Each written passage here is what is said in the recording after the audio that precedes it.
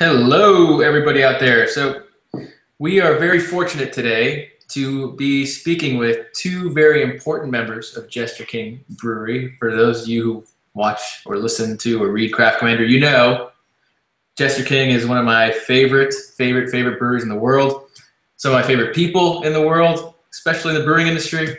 Um, fortunate enough to spend some time with these these guys in Austin and Tampa and all over the place, and now we finally have them here on the site for you guys' enjoyment. Averie and Sean, how are you doing? Good. Hi, Marco. So we're sitting here, and you guys have beautiful barrels behind you, and I see a big pallet of Wytchmaker, which is an amazing beer that I love. I think we'll talk about it a little more in the future of this interview, but um, I kind of want to talk about this before it starts to get warm. I already have it, and I'm getting impatient, and then we'll start with the interview. But I'm drinking Figlet, um, which is really, really, really cool. I didn't know how all the smoked figs would play with kind of your guys' house culture. It's very acidic. Uh, and I, I, just love it. I, you, you guys mind talking about this beer a little bit? Kind of, I think it's a great, a great way to kind of segue into food and beer uh, because it's a collaboration with a restaurant, and you're using some, you know, different fruits and things like that in the beer. So maybe talk through the beer a little bit. Uh, so Figlet is a beer that we did in collaboration with Franklin Barbecue here in Austin, Texas. Um, Aaron is a good friend of the brewery and makes some of the best brisket on the planet. Um, and just like we have a house culture here at the brewery and the beers that we make, he kind of has a pit culture in the barbecue that he makes, right? So I wanted to do a collaboration with him. We didn't. We had already done smoked beers, and that we had another barbecue place smoke some malt for us. Um, we've done a few other smoked beers as well, but with Figlet, we wanted to approach it from kind of a different angle. Um, you know, we love fruit here at Jester King. We use a lot of fruit in our fermentations. We had not used figs previously, so we thought, you know, figs might, you know, they, are kind of meaty, kind of sweet, kind of, you know, juicy. We wanted kind of meat-like to begin with, right? Uh, so we thought that might be a good way to go. We had Aaron smoke, cold smoke, and char some figs for us. Uh, so we made a beer, darker grist, um, something fairly simple and then we added those smoked and charred figs post primary fermentation. Um, I haven't had that beer in a little while. I know the last time I tried it, it was really, really tasting pretty great. Um, so it's done very well with age. Um, like with most of our beers, I would imagine that it's picked up some acidity in the bottle. Um, but Yeah. Yeah, the beer was, this is batch one. Oh, oh nice. wow. Yeah. Nice. September 11, 2014. Yeah. yeah um, and it's tasting awesome. It's it, like I was talking to Sean beforehand, and, and, you pick up the smoke still, and I was like, you know, I, I didn't really, I, I, knew it was figs, but I forgot it was smoked figs, and I was like, where's the smokiness coming from? That's awesome. Yeah. And it's like, duh, idiot, it's smoked figs in there, and so. Um, of leather, and when we first brewed it, we were tasting it out of the tank, and I remember it tasting a lot like poblano pepper, like charred poblanos. Sweet pepper. Yeah. Interesting. Yeah. Well, it's right when you pop the bottle, and here's the here's the beer. It's a really beautiful, like amberish, reddish color. But right when you pop the uh, the bottle, you smell like, oh, this is Jester King. Um, you're talking about your house culture. It's an amazing thing. We're gonna get into a little more detail in a little bit, but I just I love the fact that when I smell a beer that's made by Jester King, I know it's made by Jester King. And when I drink a beer with Jester King, I know there's that underlying house character. And you guys are, I mean, one of the breweries that does that the best. And I want to get into how why that is. You're probably gonna be modest and not acknowledge that, but um, it's just really cool. And I any collaboration you guys do, I always go, geez, this is like this is Jester King. this is like you know, it's a collaboration. Um, but I guess before we get into that, I want to talk about you guys a little bit. last time we uh, spoke with, I guess, Jester King, it was with Jeff. Um, so you guys bring a different perspective, and I really love that. And Jeff actually recommended I speak with you guys. He wanted to hear what you guys had to say, and um, so maybe well, you guys can just take that on yourselves. You know, wh- whoever goes first, and kind of like what you do at the brewery, how you got to the brewery, a little bit of that. All right, I'll go first. Um, I my kind of beer journey started as a home brewer, uh, making beer at home getting interested in beer and wanting to make styles that I tried before. Um, I worked at a homebrew store in Houston for quite some time, a place called DeFalco's. And then from there, uh, got my first opportunity to work in a brewery in Houston. From there, I went, I worked at a, a brewery in Houston called Buffalo Bayou, and I went to work at a brewery called Eighth Wonder. Um, the beers that I was making at home, the beers that I was interested in making, were always mixed culture beers, or very dry beers with some acidity, um, mostly saison. Uh, so just like you know, making what I wanted to drink all the time. Really warm down here. So um, I was bugging Jeff and Ron for a while and just kind of like pushing some of my, you know, the greatest hits of the homebrew on them to make sure, you know, they, they tried some. And uh, I volunteered on some packaging days here, I think back in uh, 2011, uh, about five years ago now. Um, and then after they heard that I was working at some other breweries and maybe uh, wasn't you know making the beer that I really wanted to be making, uh, they gave me the awesome opportunity to come on. I started here in October of last year, so I'm still new to I think much, but yeah, it's been it's been great working. Cool. Yeah. What about you, Averie? Hi, um, my name is Averie Swanson. I've been here at Jester King for about three and a half years now. Um, I started out here volunteering actually. I had also been a home brewer for a couple of years. Um, I come from a, a, science background, I guess. I was doing clinical research down in Houston for a little while and hated working in a hospital. So uh, moved to Austin, had been kind of just putzing around, not really doing a whole lot, homebrewing a lot. Um, and I reached out to Jester King um, beginning of, or towards the end of 2012, I guess. And um, they let me come out here for a few packaging days. Basically, any day that they let me out, I, I was out here. Um, so after volunteering for about six months, I started a full-time apprenticeship and did that for about six months. Um, and they brought me on full-time as a brewer and uh, did that for some time. I'm still a brewer, um, but I'm also the packet or the production manager here now as well. So kind of steering the ship in a sense. Uh, Garrett is our head brewer. Um, he focuses a lot on recipe development. Um, but as far as like scheduling and barrel stuff goes, I'm kind of at the helm there these days. So pretty exciting stuff. Got a lot of projects um, that have been going on in the background for a few years now that are kind of finally coming to fruition. Um, and you know, new projects in the pipeline as well. So pretty exciting time to be here. Super dynamic time. Mm-hmm. Um, excited for the rest of the year and the following year to come. So. Yeah, you guys have had a huge year. Um, and it's, it's, been, it's been awesome to watch it. Um, and we're going to get into the kind of what types of things have been going on. But as production manager, you know, what's interesting to me is that a lot of these beers kind of do what they will, and they're ready, as John Van Roy says, where the beer tells me when it's ready. And and so it, your job becomes kind of priceless. I mean, how do, how do you how do you begin to manage something that is so well? I mean, I guess it's not so unpredictable, but it's not as predictable as brewing an amber, an IPA, and a brown every week or every other week. Yeah. And knowing when it's going to be ready. Um, how, how, do you manage making sure people get beer? And, and and I guess as part two to that is I know you guys don't distribute a whole lot. Yeah. Well, I was at the brewery, so I guess that may help you with, with that a little bit, but you still got to keep a steady pipeline of beer going. So how, how does that kind of process go for Jessica?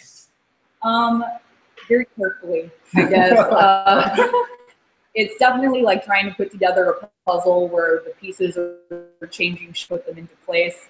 So you gotta. I mean, honestly, I'm a pretty type A kind of OCD type person, and like to have plans and like to have things kind of I don't want to say I like to be in control, but I certainly like to know what's to happen and have a, a, basic idea as to what's going on.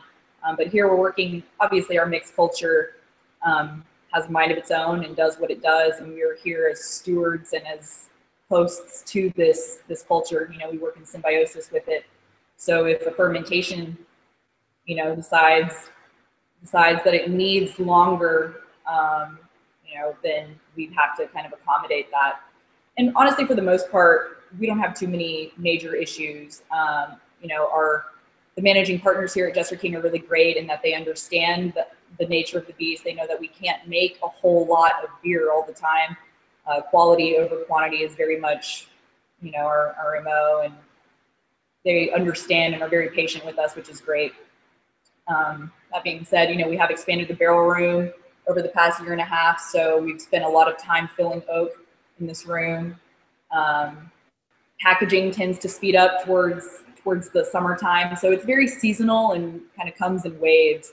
You know, wintertime we have spontaneous season, and we can talk a little bit more about that in depth in a bit. Um, but spontaneous season, and that's all we do for weeks. You know, is spontaneous stuff. Lots of barrel work, lots of really intense brew days, um, some packaging, but not as much. And then we kind of move into like post spawn season where we do much more barrel work, kind of, you know, packaging of funk metal, brewing of funk metal to refill those barrels and RU55 and all of these, uh, you know, barrel aged blends or brands. 100% Yeah, 100% barrel aged blends. Um, and then we kind of move into springtime and it's fruit season. And that's kind of, we're, it feels like we're right in the middle of it, but I guess We're we're, kind of season. wrapping up some of the fermentations that we did in the beginning of the spring, starting some of these later spring, early summer uh, fermentations. So lots of fruit. Most of what's in tank in, in the brewery right now is fruit stuff.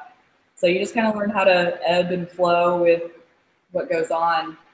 Some beers like to ferment when it's warmer here too. Uh, we're able to make you know the beers we have around all the time like Petit Prince. We have that in tanks right now. Yeah. um, which the yeast wouldn't perform nearly as good if we were pitching it when it's 40 degrees outside Right. rather than today it's about 100 degrees Yeah. or something here. Uh, and those beers, the yeast is uh, a lot happier uh, for fermenting these things when it gets warmer.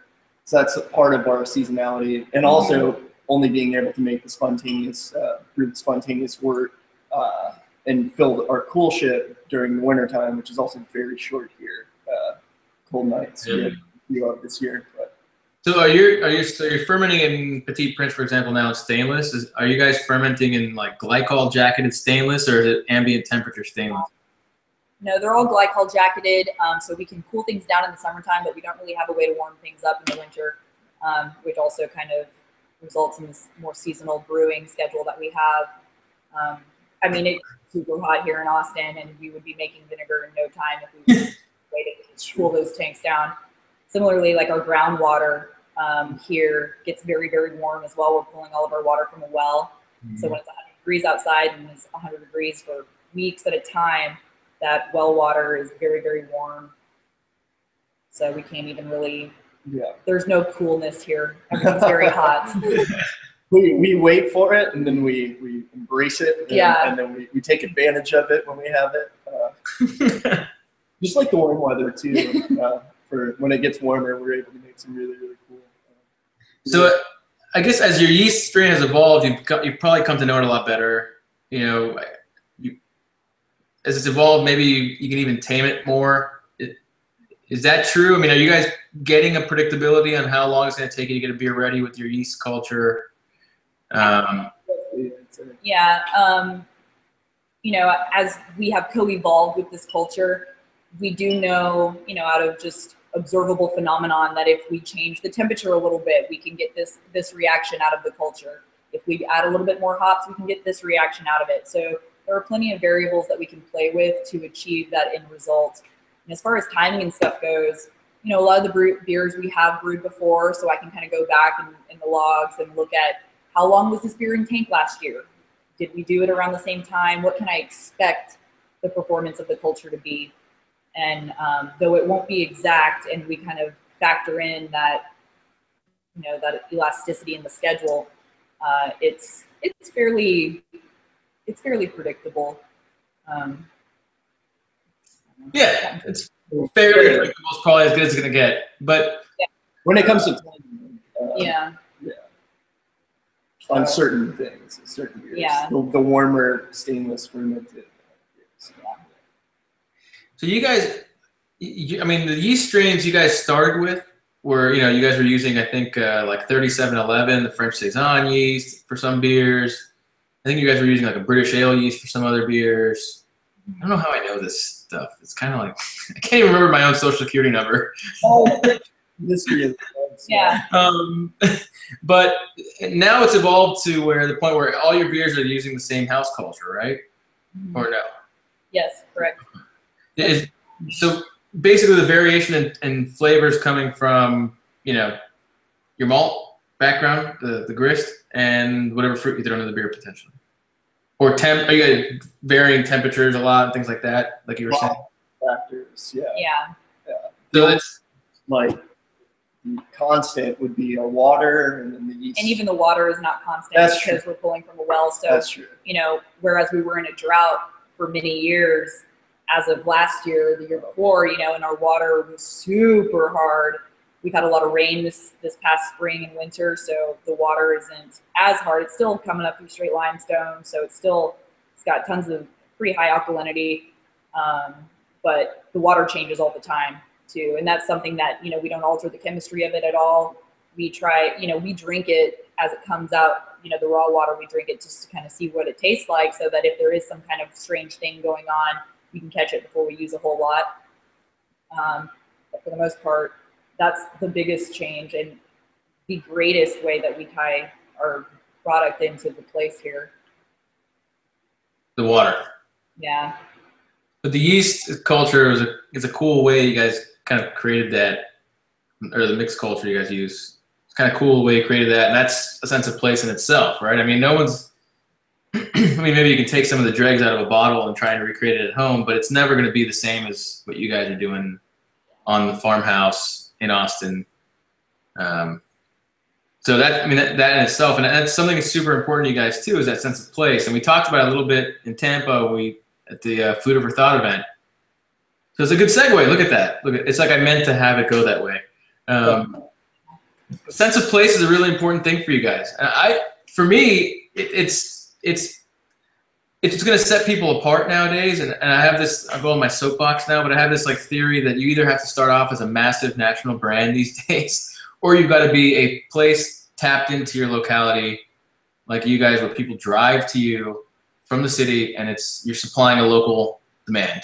Uh, otherwise, you're kind of like lost in the middle, and you're gonna get kicked out of the tap handles.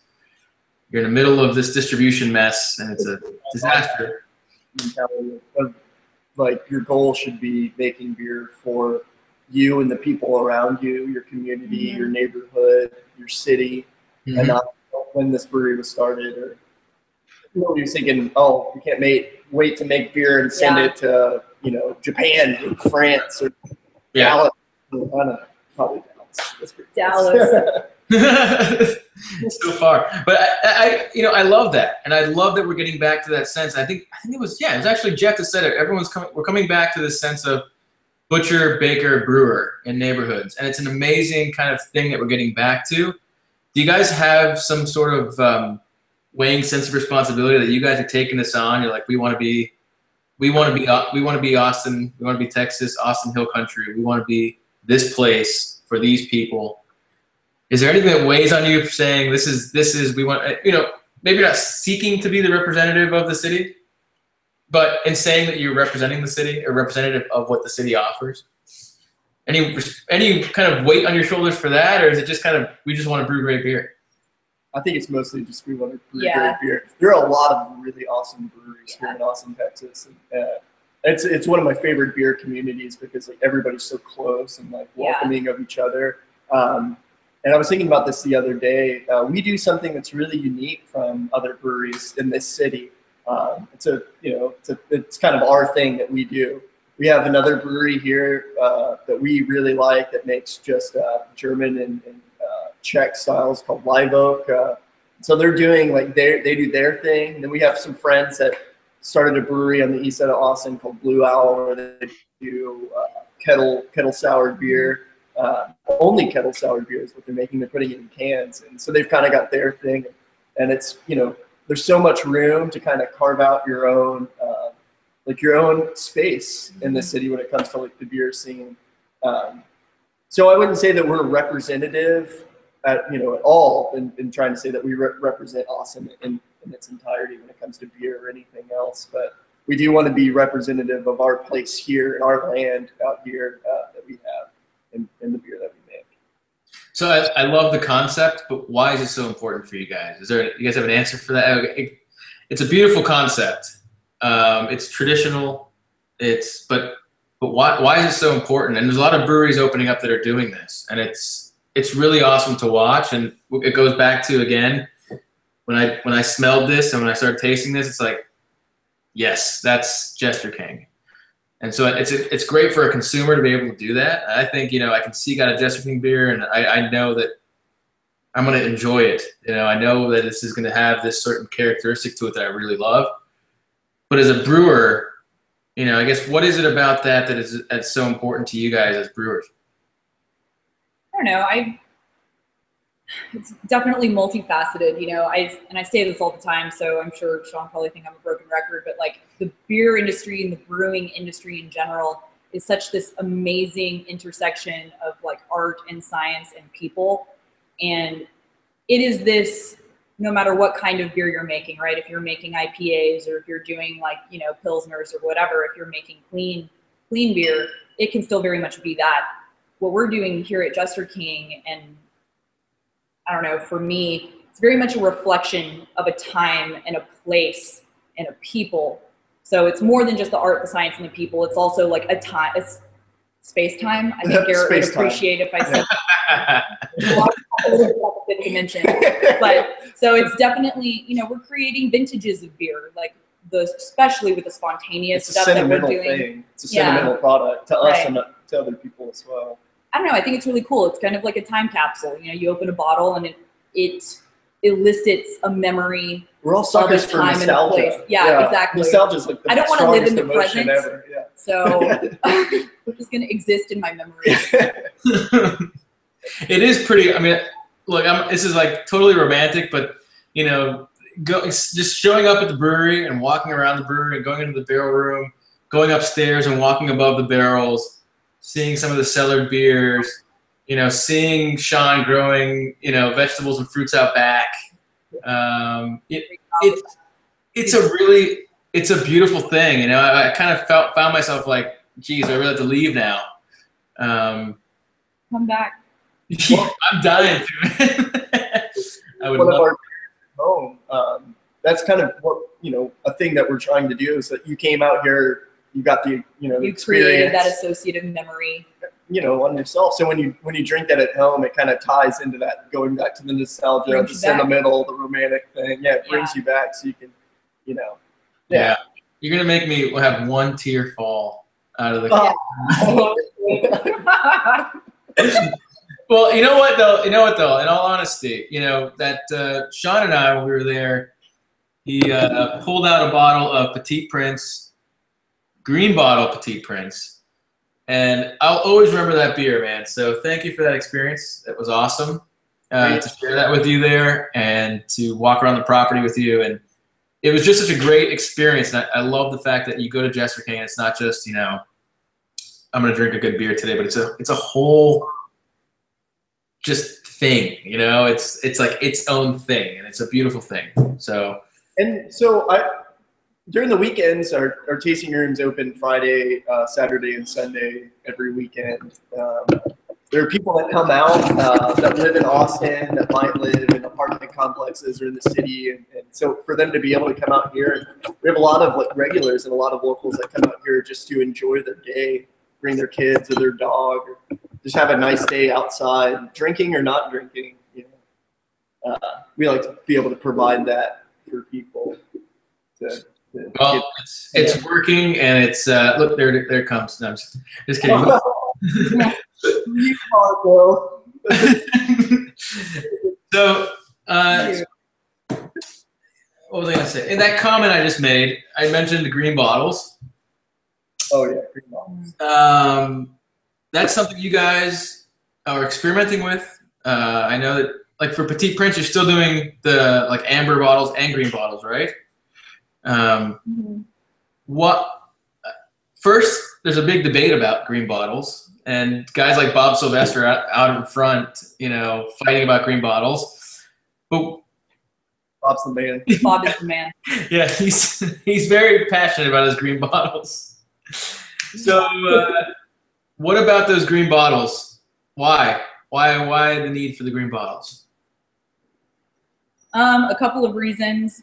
Um, you know, many of us kind of grew up in our young beer lives drinking saison Dupont, right? Like a few years back, before they started importing only amber colored bottles, they would bring everything over here in in green, and so a lot of us grew up drinking that saison.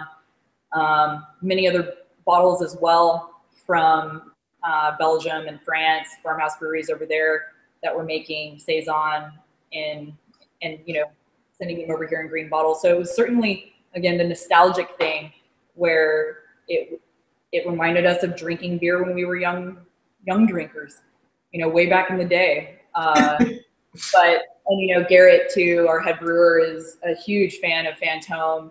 Um, probably the biggest fan of Fantôme. And Phantom uh, fan. Phantom fan, Yeah, yeah. biggest Phantom fan. Yeah, definitely. and, and many of Dany's bottles are, if not all, are green. So it was just kind of like a thing where it's like we really enjoyed that, like that Euro skunk. We called it Euro skunk when we first started this conversation. Um, really enjoyed that character in a lot of those beers, and uh, so we were like, you know, why don't we just experiment and see how putting some of our bottles in it goes. Uh, and uh, so we started doing some of that, and we ended up really liking some of the beers. Um, Petit Prince, Prince especially, uh, Noble King as well. What else? Collaborations, Collaborations beer. Um, so we'll definitely we'll still continue packaging things in green bottles, um, though people like to argue about it for whatever reason. Um, you know, we do both, so you don't have to drink it in green bottles if you don't want to. It is voluntary um, for the most part, I guess. And we distribute a small amount of the beer, like you said before, Mhm. that, that we produce, a very small amount of that beer. None of the green bottles have gone into distribution. No, Other than one beer, uh, Phantom Del Rey, collaboration that we did. the beer that we don't talk about. We're not going to talk about that. No, we're not going to talk about that right. I'd love to talk about that beer Me too. later. Later. Will be the next So segment. that was a green bottle that did go out intentionally, but most of like the Petit Prince, we're keeping it here. It's kept in the dark until basically it's put in your hands when you're Mhm. buying it at our bottles to go station. Skunked on site. Yeah, well, it's kind of up to the consumer whether they want to take it home and put it on the windowsill and leave it there for a week, or they want to put it in their dark case and put it in their car and then put it in their dark fridge and drink it. You know, um, or my favorite thing, I still do this um, when we have it, is getting one of each and trying Mhm. them side by side. Yeah. Um, that's always a good thing, you know, fun thing to do. What are some of the things you're noticing from the green bottles versus the amber bottles? You definitely get some of the skunk lightstruck character, but Yeah. um, I don't find that offensive. Honestly, I kind of really enjoy it. You have, Uh, yeah, like I said, you have control over too, like Yeah. how you're storing that and how intense you want it to be. yeah. Yeah. Uh, I, I get uh, like I don't know maybe it's just me but like maybe that enhances some of the yeast character because every time I have a green bottle next to a brown bottle I feel Mhm. like maybe I'm thinking mostly Petit Prince right now when I'm talking about this but I, I think it goes for the other beers as well um, just kind of pushing that yeast character a little forward maybe that's like the lightstruck character blending with it I'm not entirely sure um, I, Yeah. I really enjoy the green yeah. um, any green option, like I'll go for the green option here, Yeah. personally. And honestly, like the skunky stuff kind of blows off. You know, if you Oh, yeah. your glass around enough, you're not gonna. It's mostly on the nose too. I mean. I don't really get it on the palate a whole lot unless it's been like you know you leave that in the sun for a week or two. Yeah. Yeah. Well, you got a beer with a whole bunch of wild yeast that kind of like a funk, you know, a little funk to it, you know. I mean, it's and this, and and uh, you know, and Sean, you're you're a big proponent of swirling that yeast in the bottom of the bottle and pouring it into the glass too. Here, Yeah. yeah, I do. Clear beer is cool too. Uh, the the yeast can add texture. Uh, to the beer. Yeah. Also, it's nice when like you're sharing a glass of beer with somebody. Like if you're going to open a, a bottle and, and share it with one, two, or you know multiple people to get that yeast mixed up before you crack it open, because then everybody's enjoying the exact same glass of beer. You know. Uh, inversion. last guy that gets the yeasty pour, that poor guy. You know, everybody should have. He's like, why is mine like a big cloud? It looks like a Northeast style IPA, That's yummy. Which was subject kettle sour and Northeast style IPA, two popular subjects these days. So, um, you guys, maintaining a mixed culture. I mean, there's, like if you look on forums and if you look on websites, a huge, it's a huge thing that people now are interested in. You know, at home, um, keeping one, growing one.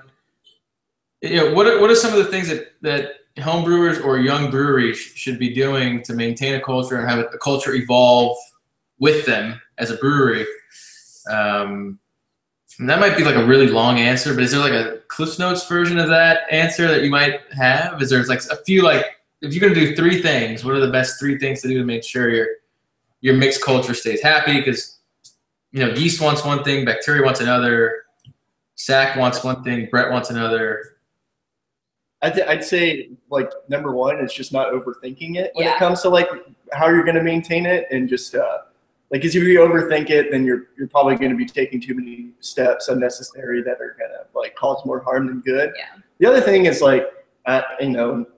I don't know. It sounds a little crazy because we're making beers like this, and when clean brewers hear this, they're like, "Oh yeah, that's funny." Sanitation, um, Is make, important. yeah, it's important. It's an important thing uh, for making. yeah, uh, especially you know when we're making these stainless beers. Obviously, with oak fermentations, that's not entirely a thing that's uh, possible. Uh, but yeah, that and then also the timeline, the Mhm. making sure that you're not having yeast sit around too long before you're pitching it, uh, making sure you're not pulling it too early before you're pitching it. Um, just trying to get that that sweet spot of happy yeast going into the next beer is a good way of maintaining. Yeah, I think that if I were to answer this, I would all of the things that he said for sure. Like your your mentality about it is key, right? You're doing this for fun. Yeah. Whether you're doing it at home or commercially, you're doing this because you love this, right? So have fun with it. Don't freak out. Give yourself some freedom to experiment. Give yourself some freedom to screw up. Like Oh, you're yeah. gonna. You know, we've dumped yeast before, we've dumped beer before. Like it's inevitable. Embrace that. And once you kind of get over that, you can have a lot of fun with it. Uh, so that being said, like be experimental. Don't just try to prop up one thing. Prop up three different things. Maybe at the same time, maybe not. Different, you know, proportions of different organisms if you want. But try a few different things because you know you may have wasted six months trying to prop one culture up, and you could have been trying to do three or four different things, and you might have ended up liking something that you didn't expect you would have liked to begin with. So give yourself some freedom to play around. Um, Yeah. I was going to say something else, but I forgot. Also, I think since another. But since you're your best That's what I was going to yeah. say. Don't be afraid to like taste your yeast. Yeah, that's important. I've eaten yeast off the ground before here, so seriously. And like, like yummy. you kind of, you know, you're like, oh, this looks good. It should be creamy. It We should smell, smell we good. smell and, and You know, touch. and, don't be afraid. Use all of your senses.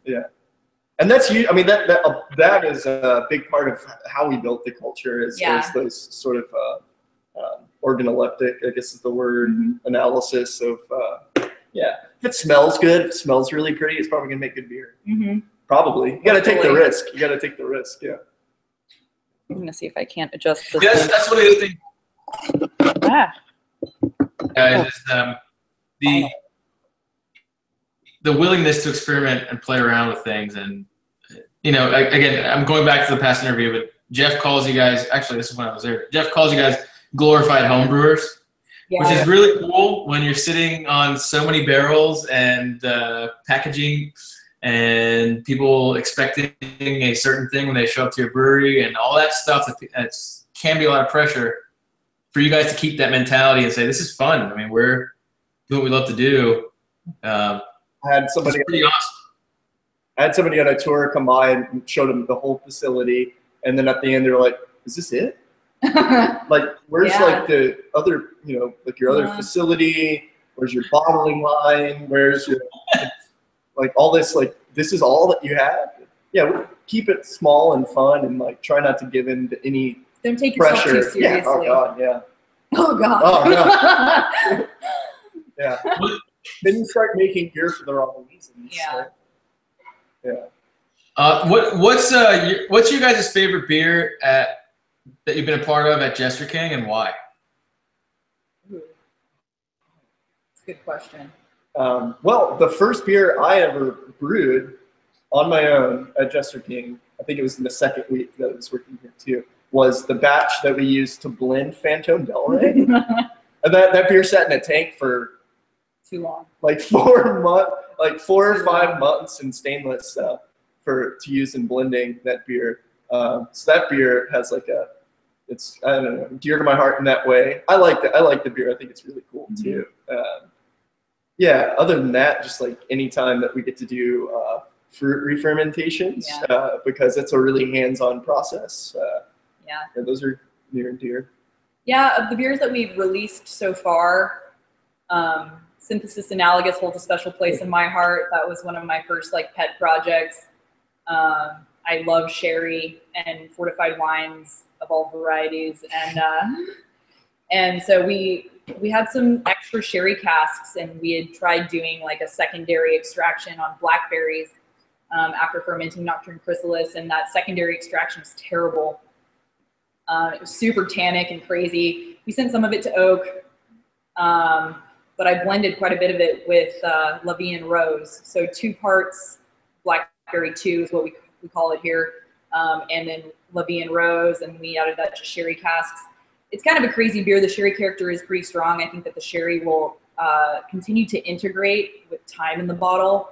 Um, and also with decanting, I know it's kind of a strange thing to say, decant your beer, um, but I think that the sherry character is a little bit uh, less in your face when you've decanted the bottle. So I encourage people to do that. I've seen uh, many highly respected um, pub owners in Belgium use this uh, in the service of some of their barrel aged beers and lambics. Um, but I would say that overall, what I'm most proud of that we've done here is the spontaneous beers. Mhm. Um, been working on that program for over four years now, and this past February, we're finally uh, we finally did some blending and some packaging of these beers. So um, very very excited for those to kind of reach the public and get everybody's feedback on that. So much.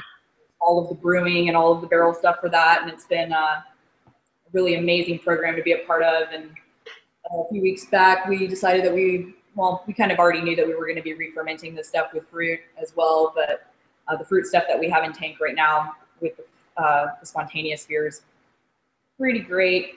So um, I'm pretty excited to package that up next killer. week. Yeah. yeah. So I want to talk about that because you guys, I'm happy you brought it up. Again, this is like you're leading me into my next point, which is great. This is spontaneous fermentation. Um, I, I, yeah, I was I was thinking in my head, I'm like, all right, after this, I'm gonna go this month. But that coolship that you guys have is awesome, and it's so cool. Is the stained glass is there right next to it, so it's like really kind of Romantic. you're a whole other place. You know, you got like some cobwebs, like you're in an old school farmhouse in Belgium, and the, the stained glass. But I guess if if I didn't know anything about beer, the person listening doesn't know anything about beer, you want to maybe kind of describe what you guys have up there, that coolship, kind of how it works a little bit, and then maybe how you know what how you guys approach those kinds of beers. We approach them uh, Very carefully. very carefully. No, um, we try to take traditional. You know, so what? It, what are we most inspired by collectively here at Jester King? Um, old world saisons, of course, and spontaneously fermented beer from Belgium, lambic, gueuze, um, fruited lambics, etc. So these are some of the beers that we would drink when we were making our beer here, and decided that we wanted to try our hand at it several years ago. Um, so, out of supreme respect for those beers as they are now, that tradition as it has stood for so long, um, and out of even more respect for the people that are currently making those beers in Belgium, we wanted to adhere to a fairly traditional production approach.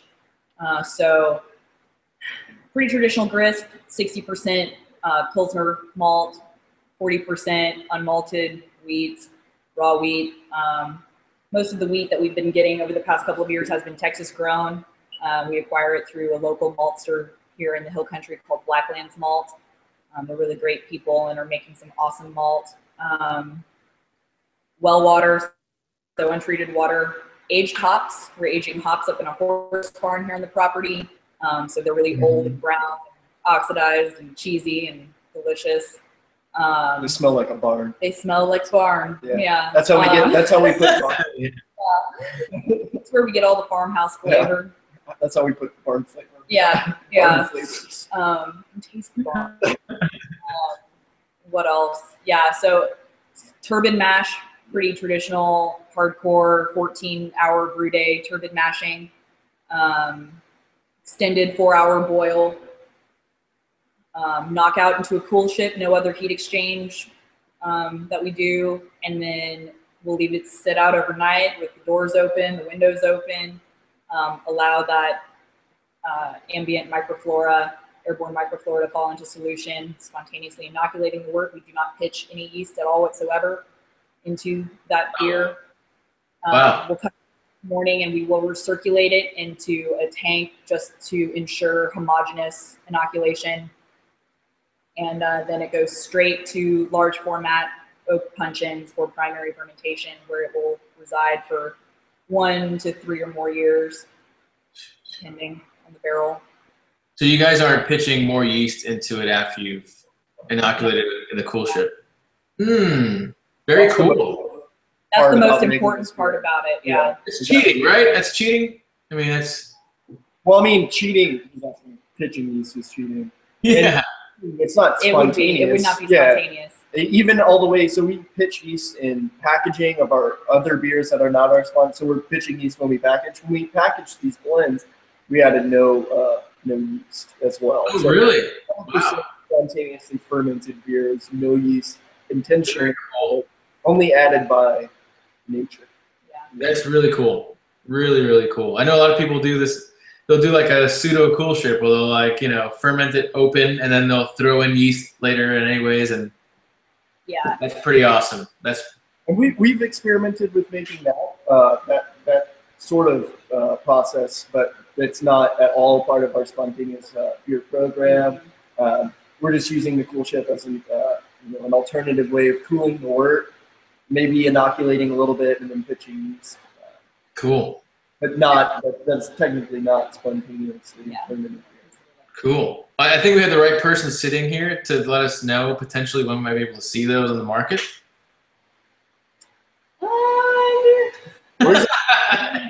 Um, I think that it's probably it's pretty common knowledge. I think Jeff has been pretty vocal. Um, we're hoping to release it end of Sept- September, October time. So this fall is kind of the, our target. Um, Cool.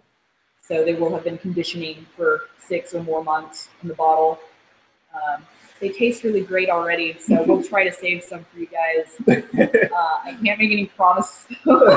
we drink. We drink them. We're drinking them like we got five blends in there. So, Like we're yeah. trying once one a week. Five Each separate blends. So Uh, I, I like how nervous you guys look when you're saying, "Yeah, we're drinking them." You know, and everyone starts like, sneaking by. That's awesome.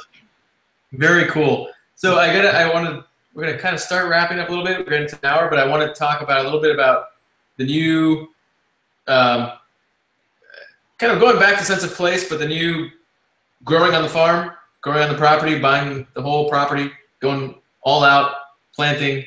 What kinds of things are you planting? What kinds of things do you guys want to grow? Um, how much you know there's like a brewery Plan Bee up in hudson valley new york where he's got a farm and he's be, he's trying to do his own hops his own grain his own everything how far are you guys gonna take it? Yeah. So um, when it comes to hops, it's the last thing you said. So I'm gonna jump on that.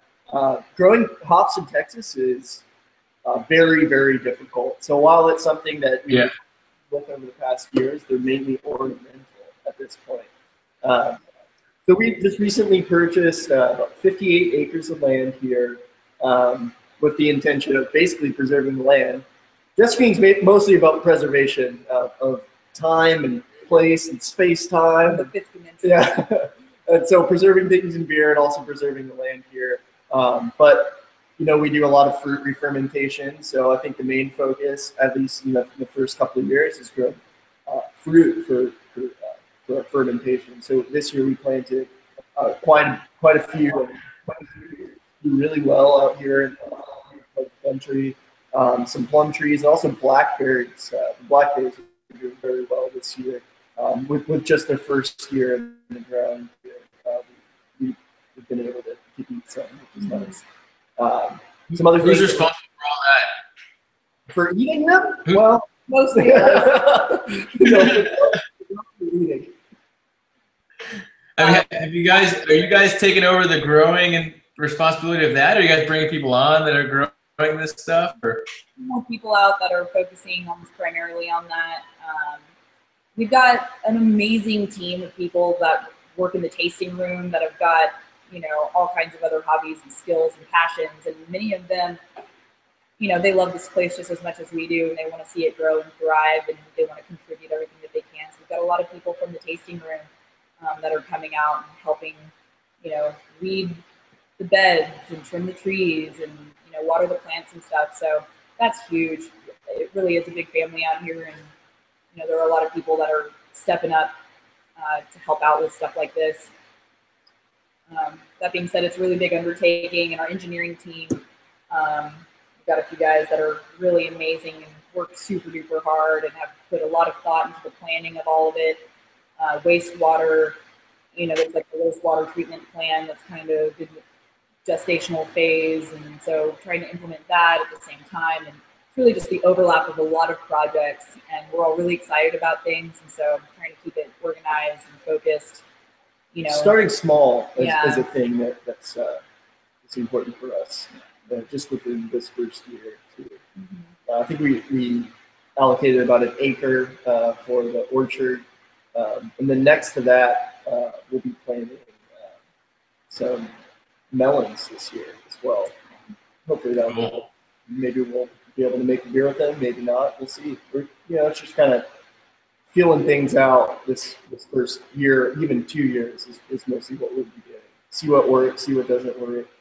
Uh, get to know the dirt underneath us. You know, it's it's kind of a new thing for us to uh, growing things. We spend time out here to, learn to grow things and to work with the land in the best way possible.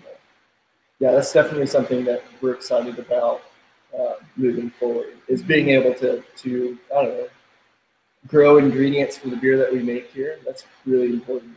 Yeah. That's yeah. I mean, it's it's awesome and it goes in line with what you guys are trying to do, and it's it makes it just makes 100 percent sense. Is there is there uh, one thing you guys are most excited about going forward for the next couple years that uh, people like me would be very excited to hear? Well, I think just the, the spontaneous beers coming out. We're going to be doing new blends every year. Like Averie mentioned, the, the spontaneous fruit refermentations, which are just going to be uh, that's a very special thing for us. I think uh, other people will agree once they get to taste it too. Um, yeah, those, those things I'm really excited about, and also just being able to make Petit Prince every year. Just like we, we can do Yeah. that. As long as we can keep making Petit Prince, we'll be happy. Yeah.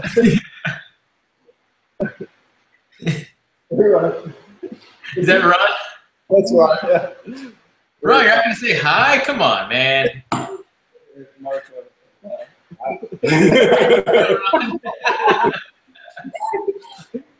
Mark, well, that's Ron's got big news too. Ron's moving to his own place. That's right. Ron, you want to talk about that? Is this being recorded? it is right now. Live broadcast. You should schedule a chat with I'm Ron. not wearing my hat. You need to warn me about. Yeah. you, you've literally been the headless man in this. yeah, it's amazing. For all they know, you have your hat on. Well, they did till now. You're like the, uh, Yeah, it's really ruining us all of us. Take over. his- What's the guy from Home Improvement where you can only see like the top of his head? Ron's the anti Wilson right now. It's the opposite. Yes. yes. It's amazing, man. All right, well, enjoy the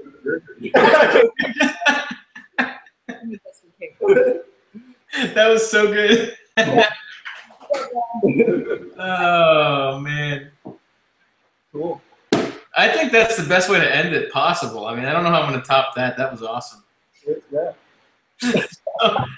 On that note, we've been talking about an hour now, and I think that uh, you know, you guys have a life, and um, I'm going to go probably to sleep.